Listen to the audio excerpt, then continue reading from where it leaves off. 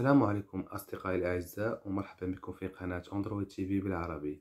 اليوم في هذا الدرس أصدقائي سوف نتطرق إلى مجموعة من التطبيقات الأساسية والتي ضروري أن تكون في أي جهاز أي فور جهاز شراء أي جهاز أندرويد TV أو TV box الذي يعمل بنظام الأندرويد يجب أن تكون هذه التطبيقات منزلة على أجهزتكم لأنها مفيدة جدا وسوف تحتاجونها في يوم ما.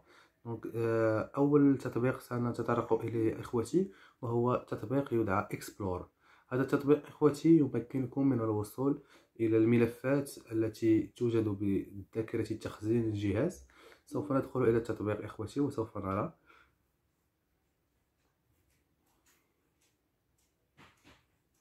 هذه هي واجهه التطبيق إخوتي كما ترون. هنا نجد جميع الملفات المتعلقة بالسعة التخزينية المشتركة الداخلية للجهاز. هنا سوف نجد جميع الملفات الموجودة على الجهاز. بما في ذلك مجلد التحميل أو ما يدعى بالداونلود.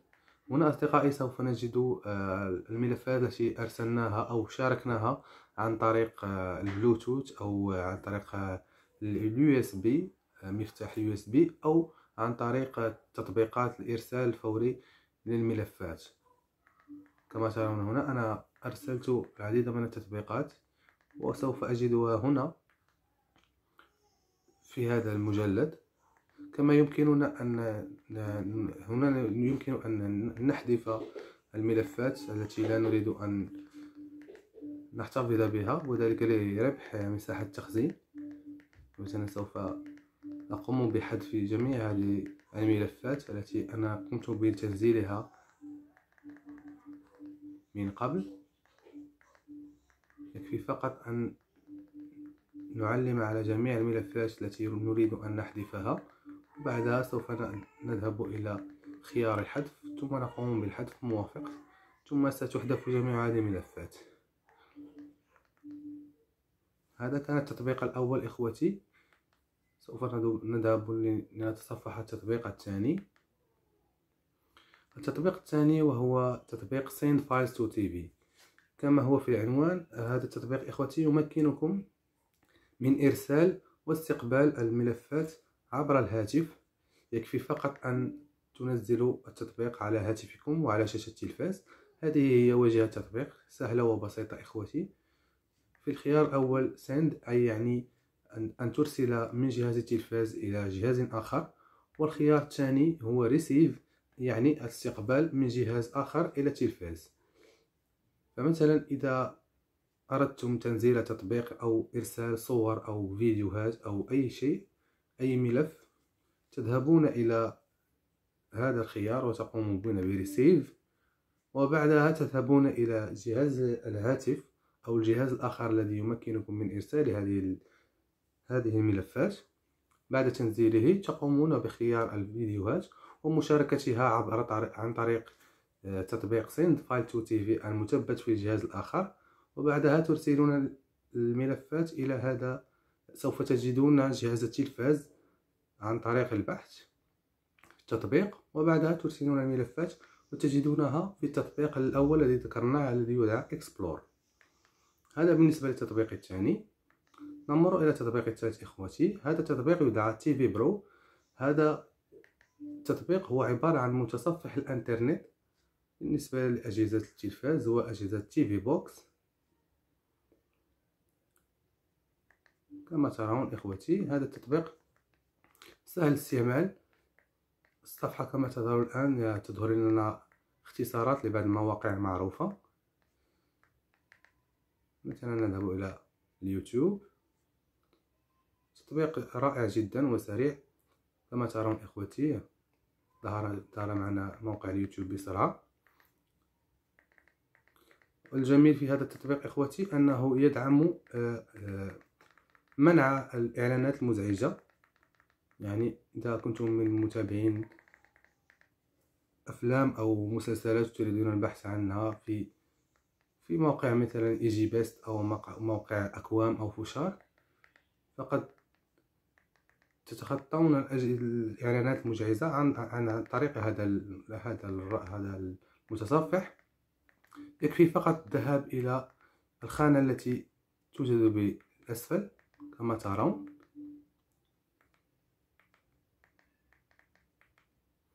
كما ترون إخوتي هنا سوف تجدون زر Ads On. يكفي فقط أن تقوموا ب Ads Off وبهذا المتصفح سوف يمنع جميع الإعلانات المزعجة التي تظهر في مواقع مثل إيجي بيست ومواقع لمشاهدة الأفلام والمسلسلات وغيرها.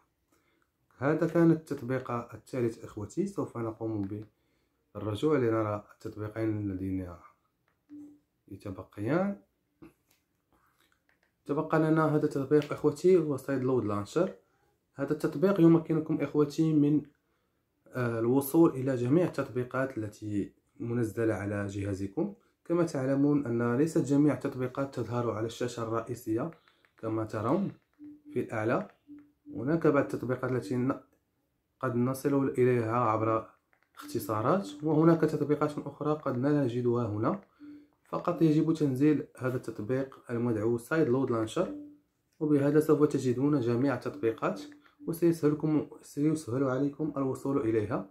عبر هذا التطبيق. كما ترون هنا جميع التطبيقات التي قد قمت نزلتها على على جهازي أو المنزلة مسبقا.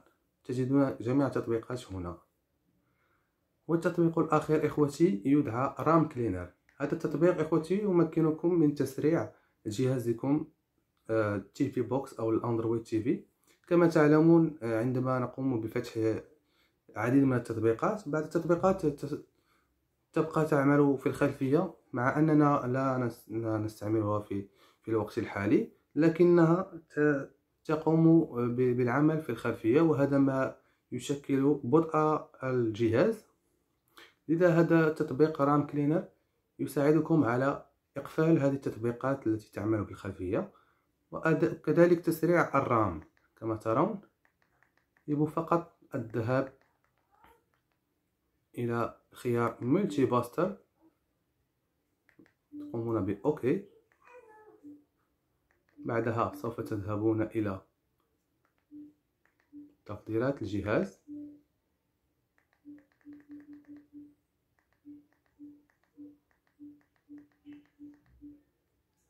عفوا سوف نذهب إلى التطبيقات.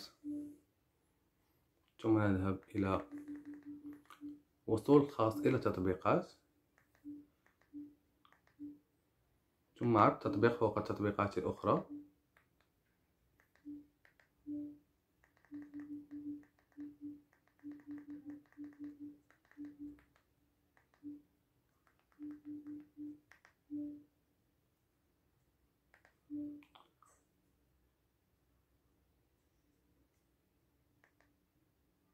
هنا كما ترون إخوتي آه، الرام تستغل سبعة وستين في المئة من المساحة.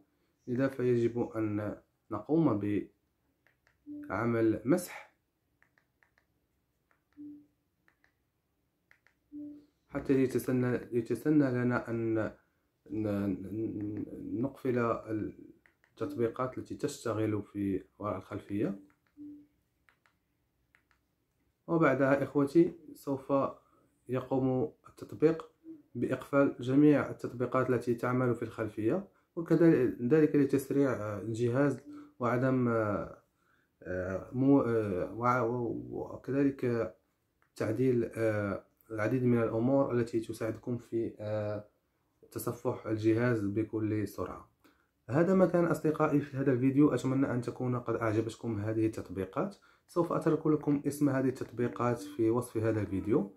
وكذلك هذه التطبيقات كلها موجودة في المتجر ال Play Store يكفي فقط القيام بالبحث عن اسم كل تطبيق وبعدها وبعدها تستطيعون أن تنزلونه فورا على جهازكم. أتمنى أن يعجبكم هذا الفيديو. لا تبخلوا علينا بزر like وتعليق لأي استفسار أو سؤال عندكم. وبالنسبة للناس التي لم تشترك في القناة المرجو الاشتراك في القناة وتفعيل الجرس ليصلكم كل جديد. ونلتقي إن شاء الله في حلقة جديدة. دمتم بخير.